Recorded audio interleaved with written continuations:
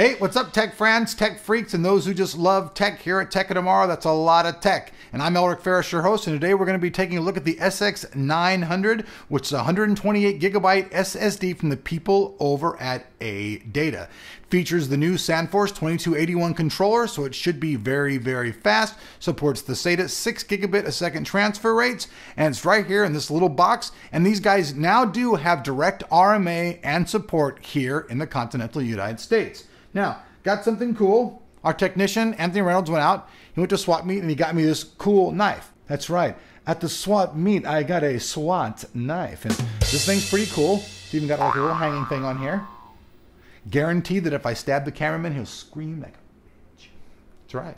So anyways, let's go ahead and take the little knife out here. This one's kind of trickier than all the other ones I have. I got to break it in. This one, I barely clip the thing and it goes. Doesn't really give me the quite the action I like. So anyways, here's the box.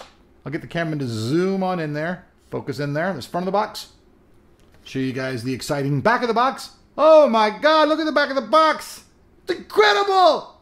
Frick me, man. All right. Also inside comes a little bracket for installing it. So let's go ahead and take a slice here. Go ahead and take a nice little quick little slit here with this thing. And there we go.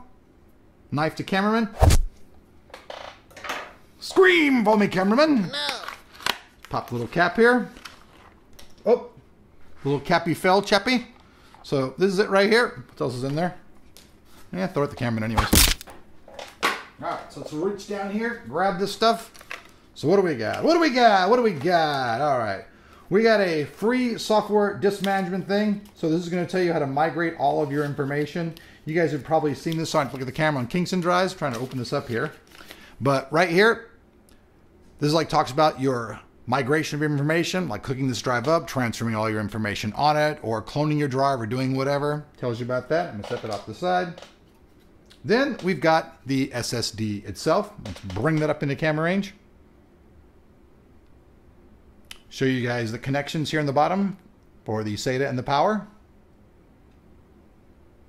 MLC technology. Here's the back. Standard 2.5 SSD. Comes with the bracket, which we're going to show you in a second here. So there's the drive. We got a little SSD quick installation guide here. This will tell you to quickly insert it. Use lubrication for better insertion. I mean, wait, wait, it's a different drive. All right, sorry.